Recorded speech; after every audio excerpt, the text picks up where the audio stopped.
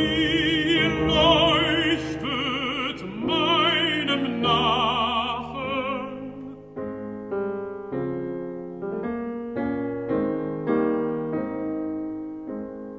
mich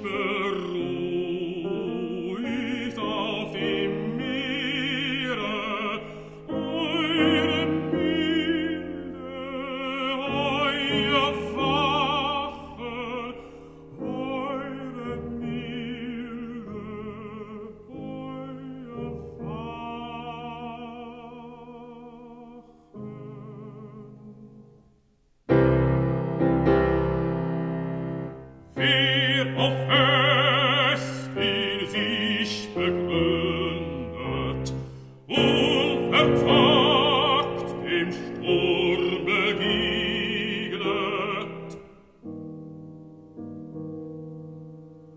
Fühlt sich doch in euren Strahlen,